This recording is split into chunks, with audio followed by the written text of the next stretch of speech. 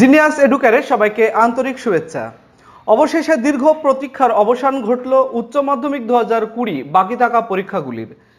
শিক্ষামন্ত্রী আজ ঘোষণা করলেন, উচ্চ মাধ্যমিক দু হাজার কুড়ি বাকি পরীক্ষাগুলি বাতিল করা হলো। অর্থাৎ সিবিএসই এবং আইসিএসই বোর্ড যে সিদ্ধান্ত নিয়েছে এবং সুপ্রিম কোর্টের রায়কে সম্মতি জানিয়ে উচ্চ মাধ্যমিকের বাকি থাকা পরীক্ষাগুলি আমাদের পশ্চিমবঙ্গেও বাতিল করে দেওয়া হলো।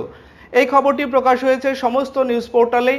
আমি নিউজ এইটিন বাংলায় যে খবরটি প্রকাশ হয়েছে সেটি তোমাদের সঙ্গে শেয়ার করব। দেখতেই পাচ্ছ, উচ্চ মাধ্যমিকের বাকি পরীক্ষা বাতিল ঘোষণা শিক্ষামন্ত্রীর।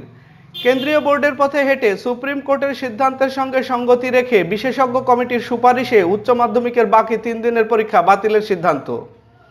উচ্চ মাধ্যমিকের বাকি তিন দিনের পরীক্ষা বাতিলের সিদ্ধান্ত। শুক্রবার সাংবাদিক বৈঠকে জানিয়ে দিলেন শিক্ষামন্ত্রী পার্থ চট্টোপাধ্যায়। এর আগে করোনা ভাইরাসের জেরে মাঝপথে স্থগিত হয়ে যায় উচ্চ মাধ্যমিকের পরীক্ষা। নতুন করে সূচি জারি করে দুই, ছয় এবং আট জুলাই উচ্চ মাধ্যমিকের বাকি পরীক্ষা নেওয়া হবে বলে এর আগে জানানো হয়েছিল। কেন্দ্রীয় বোর্ডের পথে হেঁটে সুপ্রিম কোর্টের সিদ্ধান্তের সঙ্গে সঙ্গতি রেখে বিশেষজ্ঞ কমিটির সুপারিশে উচ্চ মাধ্যমিকের বাকি তিন দিনের পরীক্ষা বাতিলের সিদ্ধান্ত নেওয়া হয়েছে বলে জানালেন শিক্ষামন্ত্রী পার্থ চট্টোপাধ্যায়।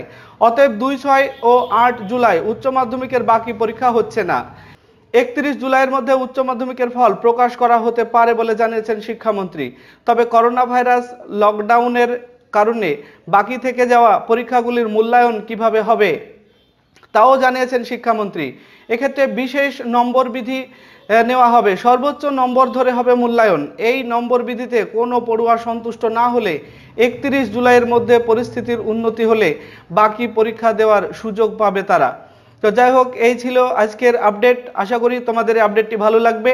আর আপডেটটি যদি ভালো লাগে তাহলে একটি লাইক করবে আর বন্ধুদের শেয়ার করবে। আর সেই সঙ্গে আমাদের এই চ্যানেলটি যদি এখনও সাবস্ক্রাইব না করো তাহলে অবশ্যই চ্যানেলটিকে সাবস্ক্রাইব করবে।